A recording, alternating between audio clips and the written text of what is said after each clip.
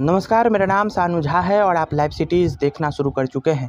बता दें कि मधुबनी ज़िला के जो डीएम हैं, अरविंद कुमार वर्मा ने कल बीएससीबी क्लास टेंथ और बीएससीबी क्लास ट्वेल्थ के जितने भी मधुबनी ज़िला के टॉपर्स हैं, वो टॉपर्स प्रथम स्थान से लेकर के तृतीय स्थान तक के तमाम टॉपर्स से उन्होंने एक शिष्टाचार मुलाकात किया। विजुअल के माध्यम से आप लोग इस तस्वीर को देख रहे होंगे कि किस तरीके से अरविंद कुमार वर्मा हैं बीच में और उसके बाद उनके उनके दोनों तरफ़ श्रेणीबद्ध तरीके से टॉपर्स हैं और उन्होंने बहुत सारे बातों को रखा है।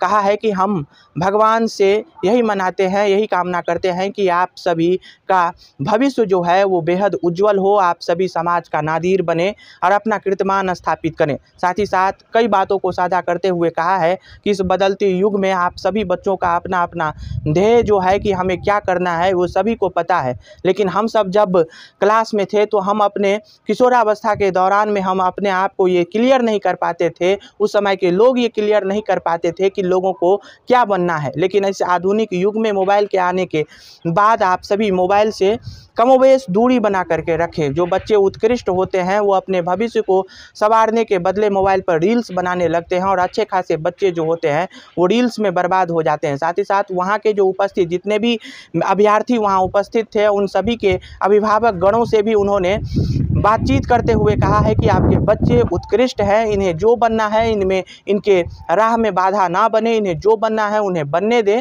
और साथ ही साथ हमने दिवाकर से बातचीत किया है, ये वही दिवाकर हैं जिन्होंने क्लास टेंथ में पूरे मधुबनी ज़िला में जो है, वो पहला स्थान प्राप्त किया था। और बिहार में भी इनका आठवां स्थान था दिवाकर से। हमने बातचीत किया है किया है और साथ ही साथ दिवाकर अपने एक्सपीरियंस को साझा कर रहे हैं कि कल किस तरीके से उन्होंने अरे डीएम साहब से बातचीत किया था, शिष्टाचार मुलाकात का एक्सपीरियंस शेयर कर रहे हैं। मेरा नाम दिवाकर झा है, मेरे पिताजी का नाम गणेश कुमार झा है, मेरी माता जी का नाम संगीता कुमारी है। इस वर्ष मैंने दसवीं की परीक्षा में उत्तीर्ण हुआ हूँ। मैंने चार सौ अठहत्तर अंक लाकर पूरे मधुबनी ज़िले में पाला और पूरे राज्य में आठवां स्थान प्राप्त किया है। इसलिए मुझे मधुबनी ज़िले से डीएम ऑफ़िस से कॉल आया था कि वहाँ मुझे जाना है। जब मैं वहाँ गया तो वहाँ इंटर और मैट्रिक के टॉप थ्री छात्र छात्राएँ मौजूद थी। उसके बाद डीएम साहब सर आए और उन्होंने बारी बारी से सभी बच्चों से उनके परिचय लिया और फिर उन्होंने सभी बच्चों से पूछा कि आप आगे क्या करना चाहते हैं? जो बच्चे आगे जो करना चाहते थे, उन्होंने उसके बारे में उन्हें गाइड किया और उन्होंने बोला कि आप ये कर सकते थे, इस चीज़ पर ध्यान दीजिएगा।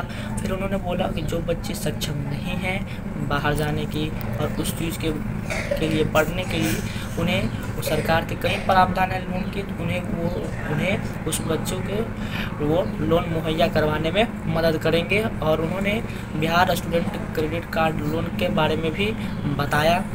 कि वो उन्हें दिलवाएँगे और भरपूर मदद करेंगे कि वो बच्चे अपने लक्ष्य को प्राप्त करें। उनमें कोई दुविधा उन्हें प्राप्त होगी तो उन्होंने बोला कि आप मुझसे संपर्क जब हो, जब चाहे आप मुझसे संपर्क कर सकते हैं, अगर आपको कोई दिक्कत हो, और इसके लिए मैं आपसे ज़रूर मिलूँगा।